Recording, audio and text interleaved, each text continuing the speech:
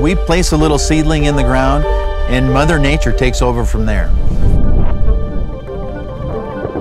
With the rain that Mother Nature brings us, that little seedling grows and grows and grows, and in the end, we get to go harvest. And then that harvest gets shipped to someplace like Bangladesh or somewhere in Central America and ends up on somebody's dinner plate. That's absolutely awesome.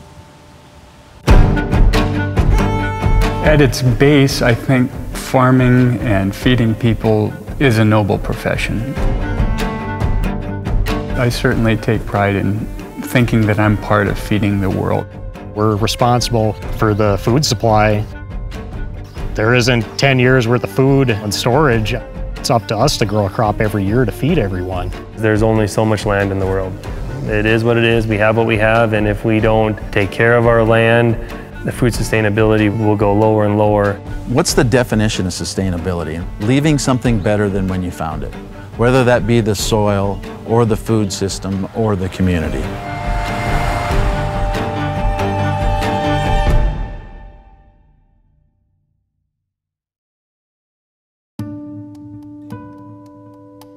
Here's the deal about pulse crops.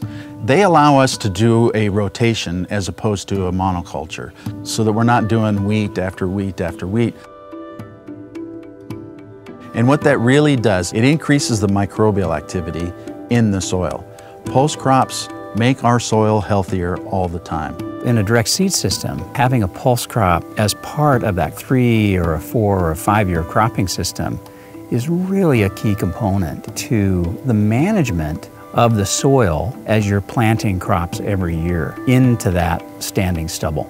Cropping rotation, no-till farming is huge because you don't disturb the soils. So you leave your good bugs and your earthworms alone, you don't kill them and your microbes. It's actually building your soils because you're keeping all of that organic matter from that plant material on top of the soil. It allows those microbes to really expand and populate. Adding a pulse crop will increase parameters like soil organic matter. We found that they increase greatly the rate that water moves through the soil, and that helps reduce runoff and gets water down to a point where it won't evaporate. We're introducing more biology and more microorganisms and nutrients into the soil with basically no effort on our part, just you know, utilizing a natural cycle in the environment. Pulses have a major component of helping with soil health. It also helps break up the disease cycle. Every plant that is grown is susceptible to some type of disease. And when you can change up the rotation, it really breaks up that disease cycle. There's certain diseases that attack, you know, wheat that do not and cannot be hosted by a pulse crop. Having pulses in our rotation makes it sustainable so we're not dependent on chemicals for disease control. We can just have cultural practices of simply growing a different crop.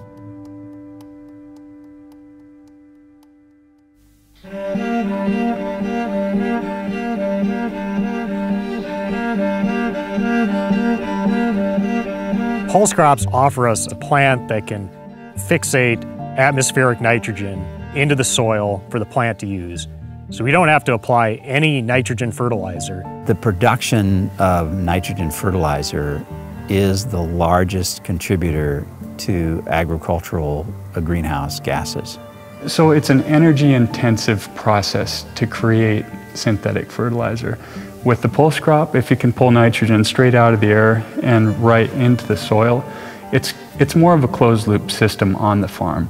So pulses have this symbiotic relationship with bacteria. And what happens is when their roots go down, that bacteria is going to infect the plant's roots and colonize it. And the plant's roots produce what are called nodules. And that's basically the home where this bacteria is going to live. Nodules form on the roots of pulse crops, and in those nodules are a bacteria called rhizobia. Those rhizobia take nitrogen gas, which is represents most of the air we breathe, takes that nitrogen gas that's leaked into the soil and converts it to a form that plants can use. Plants cannot use nitrogen gas or we'd never have to fertilize. What they can use is a nitrogen form called ammonium, and that's what the rhizobia convert the nitrogen gas to. Then they take up that ammonium. And pulse crops are unique in that they can do this. Oilseed crops can't, cereal crops can't, but pulse crops can, and therefore you don't have to fertilize them with nitrogen. And when the plant is done for the year, we've harvested it and the roots are decaying in the soil, that nitrogen that's left over is available for our next crop.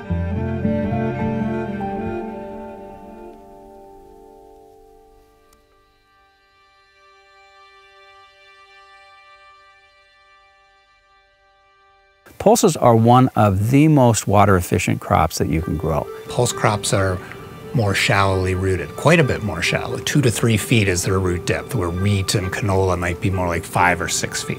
What that means is that they don't use that deep water. They can save or store that for the next crop. If you try to grow wheat on wheat on canola on wheat, you end up having crop failure because you've used all that deep water. It's a good insurance policy for our farm to have a crop with limited water use. We're not going down and tapping our subsoil every year. Whatever Mother Nature gives us is what we get for the year. Even if we weren't to catch any rain, chances are we'd still have a lentil crop. They're just a drought resistant crop. And that's another factor of their sustainability.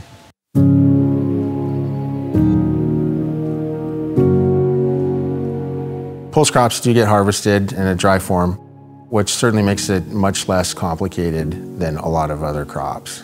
And they can be rehydrated and fractionated, but the bonus is they can store for a long, long time. If a person keeps them in a dry, cool area, which is your cupboard, they usually last, and that means you wouldn't have to throw them away or waste them. I think they estimate that we discard, you know, nearly 26 percent of all the food that we eat is just food waste or it just goes bad in your refrigerator. Pulse crops, they sit on the shelf and they're waiting for you to cook them.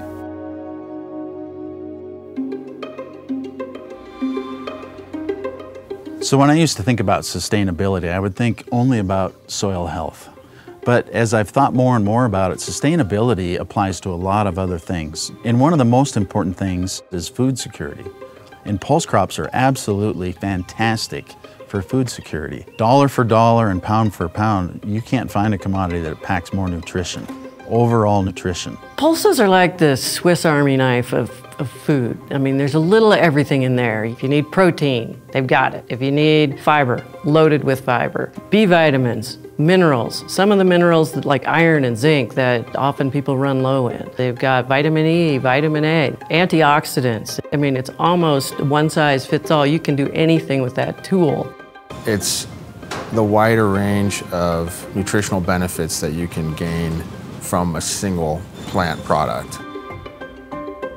As we just went through this pandemic, we realized food insecurity is real for a lot of people and we need to provide them reliable, affordable nutrition.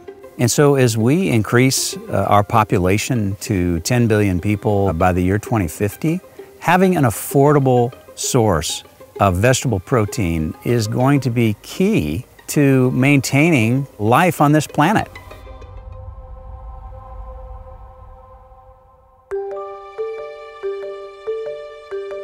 So I see pulse crops as part of the sustainability solution because it's really in our best interest to lower carbon emissions.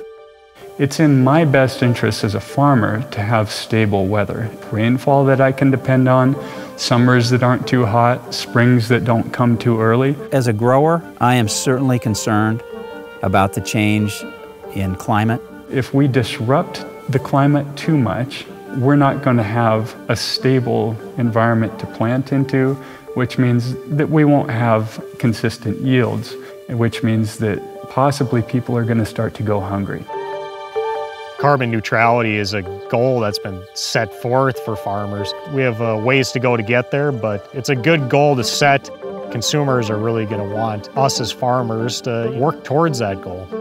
So the primary way that carbon footprint has decreased on my farm is through the introduction of pulse crops because now less nitrogen is required in the following year because less water is required. And I see the long-term picture, we really have to look at ways to reduce our costs to the environment.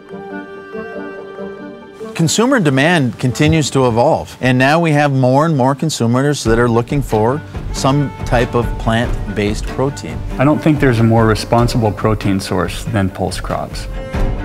People want to feel like they're doing their part to promote a healthy planet through their food choices.